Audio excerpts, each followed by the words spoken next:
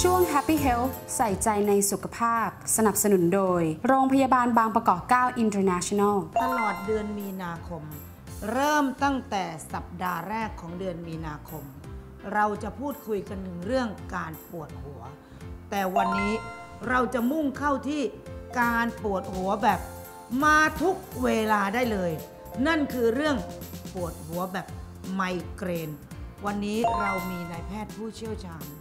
สาขาอายุรกรรมระบบประสาทนายแพทย์ประธานนันทอารี สวัสดีค่ะคุณหมอ สวัสดีครับ ปวดเมื่อไหร่ปวดอย่างไรเรียกว่าไมเกรนคะไมเกรนเป็นการปวดหัวที่มีรูปแบบค่อนข้างตายตัวอืมก็คือว่าความปวดเนี่ยรุนแรงมากจนอืมคนไข้คลื่นไส้จำเป็นต้องพักเงียบอืมอืมแต่จริง ๆ สาเหตุมันมาจากอะไรนะคุณหมอๆไมเกรนเกิดจากวงจรภายในของสมอง ที่ทำงานผิดปกติอ๋อชั่วคราวอ๋อ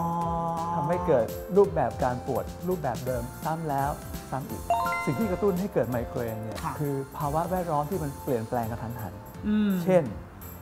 อากาศเปลี่ยนเป็นร้อน แสงที่จ้ามากอ๋อๆกลิ่นแรงๆ ฉุนอ๋อๆเสียงที่ดังๆ หรืออมกำลังถึงรอบเดือนอืมถ้างั้นถ้าเรารู้ว่าเราเป็นไมเกรนเราก็พยายามหลีกเลี่ยงไอ้สิ่งเหล่านี้ซะถูกต้องโอเค วิธีการรักษาไมเกรนอย่างไรครับคุณหมอไมเกรนเนี่ยเป็นความปวดที่รุนแรงค่ะนั้นเวลาเราทานยาแก้ปวดเนี่ยค่ะยาแก้ปวดที่ใช้เนี่ยพาราเนี่ยเบาเกินไปโอ้เราควรจะเริ่มต้นจากยาแก้ปวดปานกลาง ยกตัวอย่างอืมเช่นแอสไพรินหรือค่ะไอบูโพรเฟนอืมและควรเริ่มทานตั้งแต่เริ่มรู้สึกปวดน้อยอืมเมื่อปวดอย่างที่คุณหมอพูดว่าร้าวไปข้างหลังบ้างนู่นนี่นั่นมาหาหมอจะดีกว่าหายไหมๆ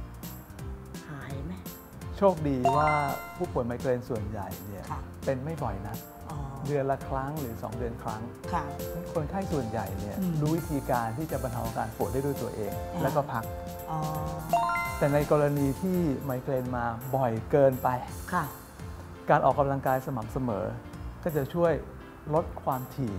ของไมเกรนที่กำเริบได้ อ๋อ วันนี้เรารู้ละนะคะ ถ้าปวดหัวปวดรวดร้าว อย่างเงี้ยไมเกรน แต่มันมีแบบปวดหัว แต่ไม่ใช่ไมเกรน กลายเป็น